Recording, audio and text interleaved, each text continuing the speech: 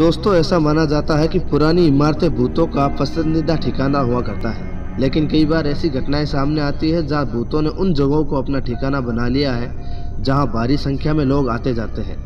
भूत प्रेतों को लेकर तमाम कहानियाँ सामने आती है। इन्हीं में से आपके लिए हम कुछ ऐसी घटनाएँ लेकर आए हैं, जहाँ भूतों ने अस्पतालों को अपना निशाना बनाया है। तो आज हम बात करेंगे दुनिया की वो पाँच डरावनी और भयानक अस्पतालों के बारे में जिनकी कहानी आपके रोंगटे खड़े कर देगी। हो सकता है आपकी नींदें भी उड़ा दे। तो चलो यार, फिर शुरू करते हैं। नंबर एक, नॉक्टन हॉल हॉस्पिटल। ये अस्पताल इंग्लैंड के लिंकविन में बना हुआ है। इस अस्पताल से जुड़ी कहानियाँ आपको हैरत में डाल सकती है। साल 1841 में ये हॉस्पिटल पूरी तरीके से जल गया था। इसके बाद दोबारा इसका निर्माण किया गया। Nocton Hall officer Norman Hoxon का घर था, जिसे दोबारा बनाया गया था। नॉर्मन हॉक्सन को प्रथम विश्व युद्ध के दौरान वापस बुलाया लिया गया था, क्योंकि वो सेना के ऑफिसर थे, जो घर छुट्टी पर गए थे। युद्ध में भारी संख्या में लोग घायल हो गए थे, जिनको देखते हुए ऑफिसर हॉक्सन ने अपना घर देश की रिसर्च टीम को दे दिया, ताकि घायलों का इलाज हो सके। युद्ध से लौटने के बाद ऑफिसर ने इसको विमान मंत्रालय को बेच दिया। मंत्रालय ने इस बिल्डिंग को एक अस्पताल में बदल दिया। आसपास के लोग इलाज कराने के लिए यहाँ आने लगे। इस अस्पताल के साथ रहने के लिए कुछ लॉज भी बनाए गए थे, लेकिन एक बार फिर अस्पताल की यह मीनार गल्फ वॉर के युद्ध की भेंट में चढ़ गया। युद्ध के बाद इस अस्पताल की हालत बिगड़ती गई। आज यह सिर्फ़ एक खंडर है।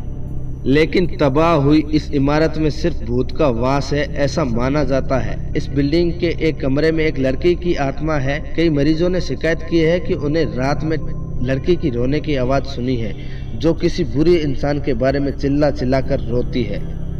कहते हैं कि यह किसी अमीर शख्स की नौकरानी थी, जिसका बलात्कार करने के बाद उसे मार दिया गया था। मारने के बाद उसको इसी अस्पताल में दफनाया गया था। इसके अलावा कई लोगों ने बताया कि इस जगह कई सैनिकों की आत्माएँ एक अधेड़ उम्र की महिला के साथ घूमती है। इसलिए वहाँ आजकल वही लोग जाते हैं जिन्हें भूतों का अनुभव लेना हो। नंबर दो, कैप्टन पार्क अस्पताल। साल उन्नीस सौ छिहत्तर में इस हॉस्पिटल को साउथ अफ्रीका में खोला गया था, लेकिन उन्नीस में इस हॉस्पिटल को बंद कर दिया गया। एकाएक बंद होने की वजह से इस बिल्डिंग में कर्मचारियों और मरीजों के अलावा सब कुछ छूट गया।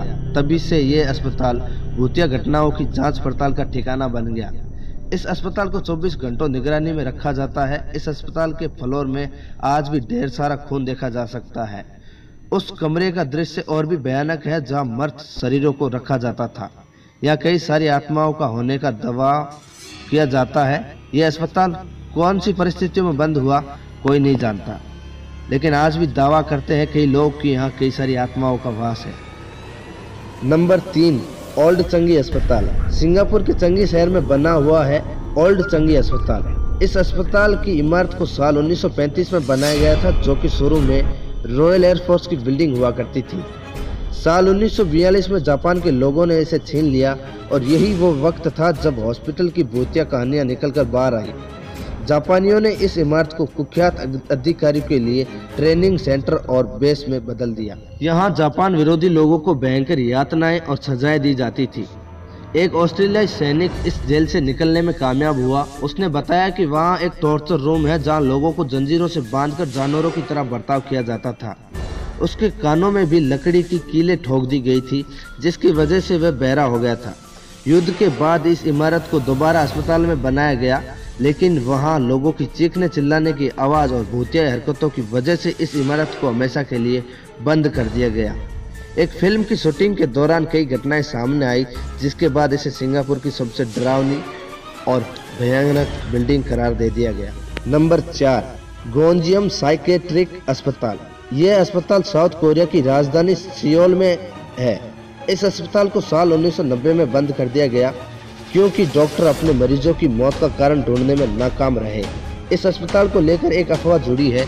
कहा जाता है कि इस अस्पताल का मालिक एक सनकी था, जो अपने मरीजों को कैद कर लेता था और उन्हें पिंजरे में कैद करके उनके ऊपर एक एक्सपेरिमेंट किया करता था।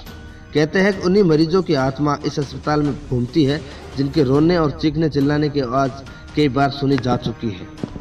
नंबर पाँच, हॉकटेन स्टेट अस्पताल। इस अस्पताल का निर्माण अठारह सौ चौवन में मोसाचुटेट में बनाया गया था। इस अस्पताल को पागलों और दिमागी रूप से विकसित मरीजों के लिए बनाया गया था।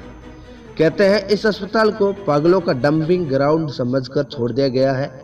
बताया जाता है कि इस अस्पताल में मरीजों के साथ अमानवीय व्यवहार किया जाता था।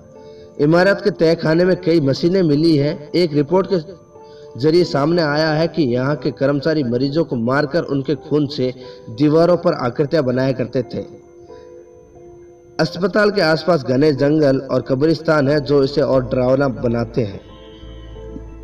इस अस्पताल के एक हिस्से को आज भी इलाज के लिए काम में लिया जाता है। तो दोस्तों, आपको इनमें से कौन सी अस्पताल सबसे डरावनी और भयानक लगी, हमें नीचे कमेंट बॉक्स में ज़रूर बताएँ। अगर आपको वीडियो पसंद आया है तो इसे लाइक शेयर कमेंट और मेरे चैनल को सब्सक्राइब ज़रूर करें।